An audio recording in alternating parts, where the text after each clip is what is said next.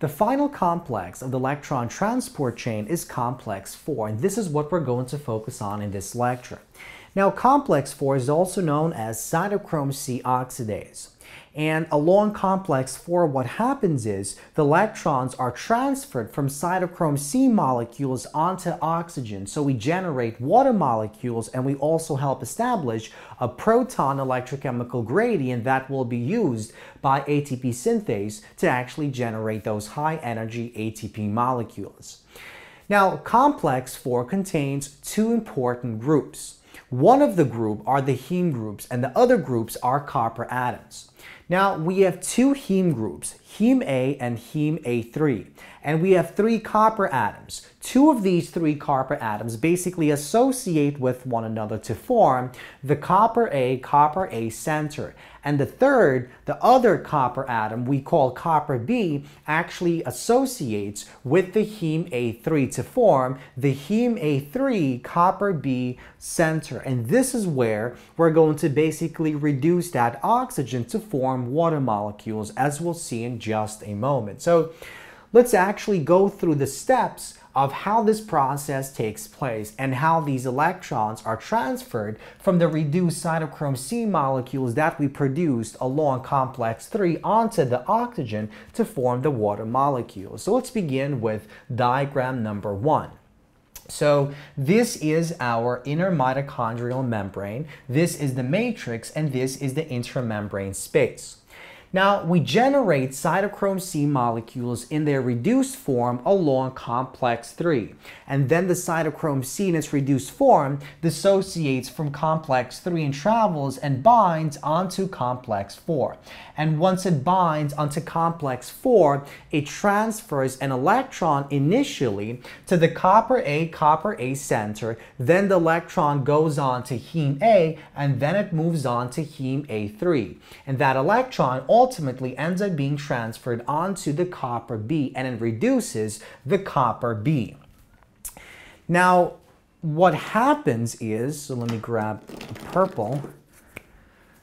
Um, what happens is, so we have our copper in its 2 plus state. And when it gains a single electron, so we have a single electron coming in, and when it gains that electron, it is basically reduced into copper plus. So anytime the copper in this diagram uh, abstracts an electron, it binds an electron, it is reduced. So it goes from its oxidized form to its reduced form. And this is exactly what happens in this diagram when this copper B gains an electron. And it also what happens when this copper A gains an electron. Now, notice in the diagram, we actually have two of these cytochrome C molecules in their reduced form. And that's because what, what happens is, first, a single cytochrome binds onto this section, giving off an electron. The electron ultimately ends up reducing this copper B.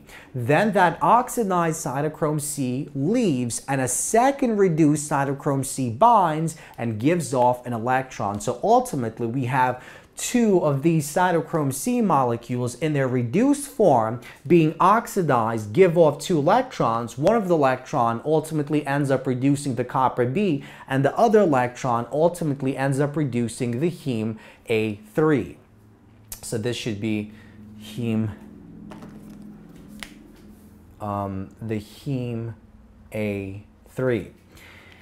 And so we summarize this step in the following way. So we have two reduced cytochrome C molecules give off a total of two electrons, so one electron per cytochrome C molecule. One of the electrons stops at the copper B group, reducing it as discussed here, and the other basically stops at the heme A3, reducing that heme A3. And once these two groups are in their reduced form, only then can they actually bind oxygen. So in the next step, in diagram 2, we have an oxygen, and the oxygen is the same oxygen molecule that we essentially breathe in from the environment. The oxygen is basically used to form something called a peroxide bridge between this heme A3 and this copper B. So once the heme A3 and the copper B are in their fully reduced form and uh, a diatomic oxygen molecule is actually abstracted and it is used to actually build a peroxide bridge between this structure and this structure here. Now, once we form this bridge, what happens next is from the matrix of the mitochondria, two protons are abstracted. And those two protons are actually used to help break this bond. But before the two protons are used, two more of these reduced cytochrome C molecules are actually oxidized by protein complex 4.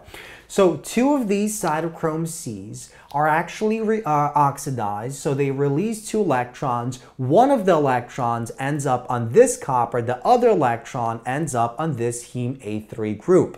And when those two electrons are abstracted at the same time, two protons are picked up by this protein 4, uh, by this complex 4 structure from the matrix of the mitochondria. And this allows us to break this bridge between this oxygen and this oxygen here. So we form the copper hydroxide group and the heme A3 hydroxide group. So in step three, two more reduced cytochrome C molecules are oxidized to transfer an additional two electrons into our system.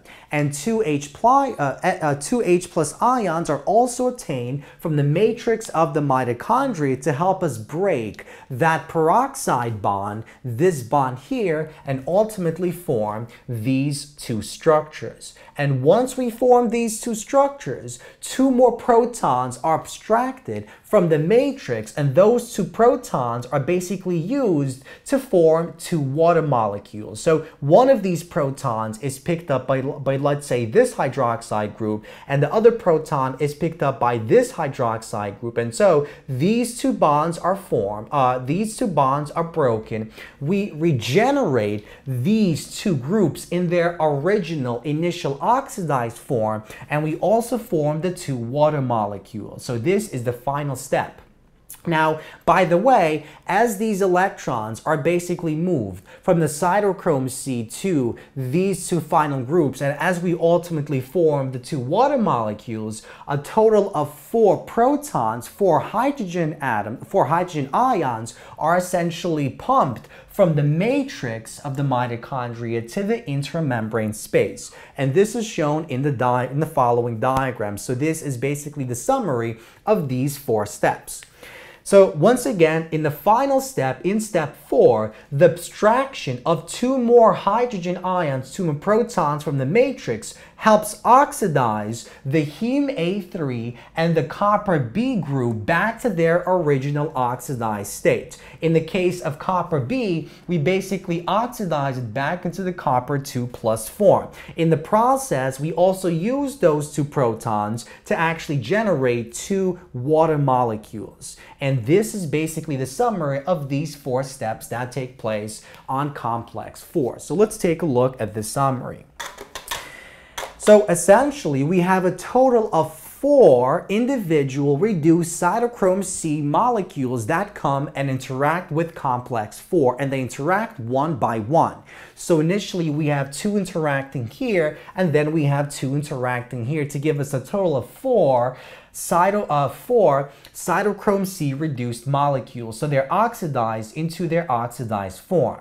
In the process, a single oxygen molecule is used, the oxygen that we breathe in from the environment, and four protons are taken up from the matrix of the mitochondria. And we use the oxygen and the four protons to basically generate the two water molecules. In the process, this protein complex 4 also acts as a proton pumps and it helps us generate that electrochemical gradient for protons that we're going to use by ATP synthase to actually generate those high energy ATP molecules. So from the matrix, we essentially pump out four of these protons and so that our concentration on the uh, in the intramembrane space for the protons is greater compared to the matrix. And as we'll see in a future lecture that proton gradient will ultimately be used to actually oxidatively phosphorylate the ADP molecules to form the high energy